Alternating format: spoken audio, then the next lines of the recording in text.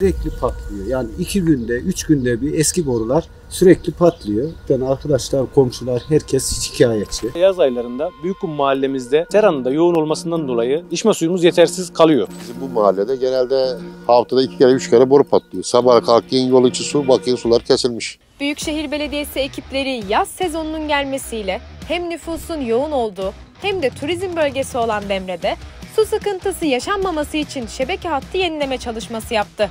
Büyükşehir Belediyesi olarak vatandaşlarımıza 7 gün 24 saat hizmet vermekteyiz. Başkana teşekkür ederiz. Gerçekten anında hatta birinde bir patladı bir telefon ettim anında geldiler. Antalya için çalışıyoruz.